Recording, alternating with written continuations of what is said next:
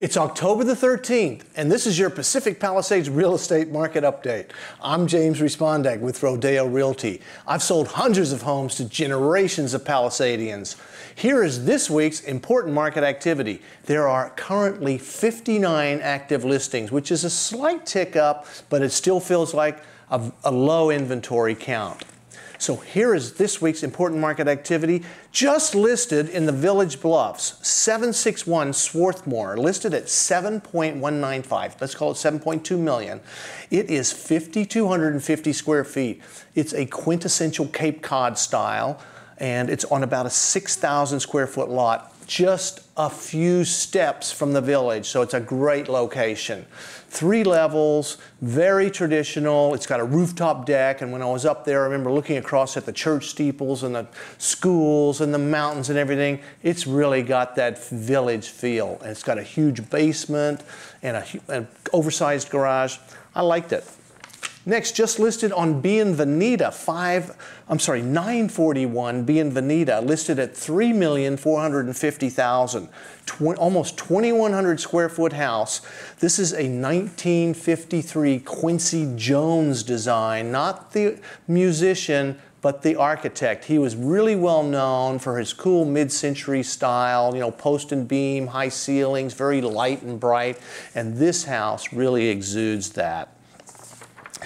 Next, just listed in Santa Monica Canyon, 546 East Rustic Canyon, listed at 3,275,000. It is a little under 2,000 square feet, and the lot is a little is about 6,200 square feet.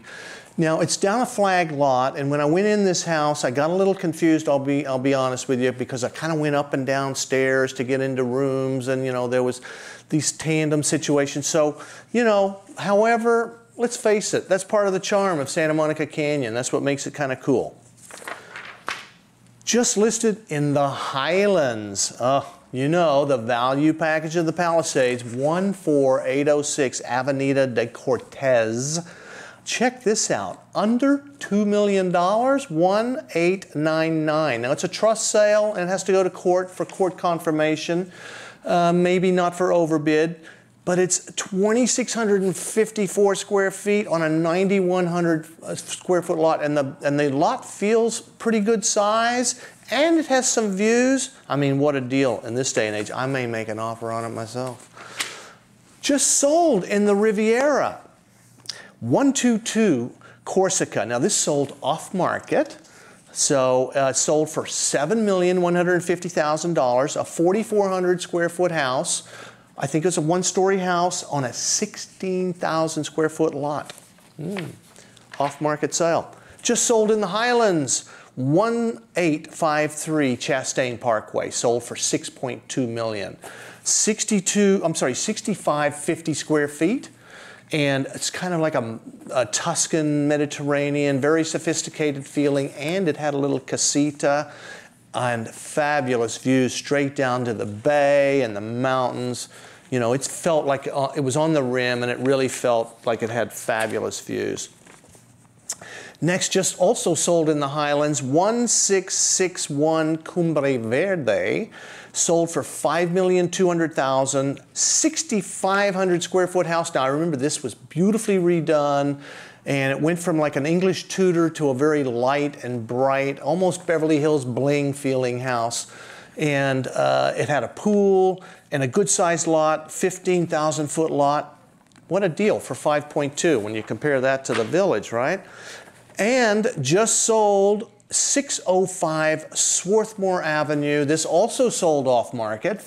$4,641,000 it sold for. 3,500 square foot house. Uh, and it was built in the late 80s, three stories. It had a separate guest house and a pool. Interesting.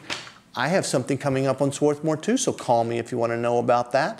If you I hope this information has been helpful. And if you're looking to find your perfect house, I know everything that's on the market and about to come on the market, maybe some pocket listings.